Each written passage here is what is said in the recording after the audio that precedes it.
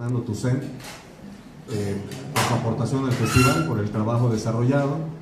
Eh, de manera que abre la noche el grupo Señor Vitales Place Aguamala, donde tocan eh, dos de los que fueron miembros del grupo Aguamala, que trabajaron con Fernando, Bernardo Ron y Luis, Fernando López, Luis Ernesto López. Eh, así que empezamos con Señor Vitales Place Aguamala.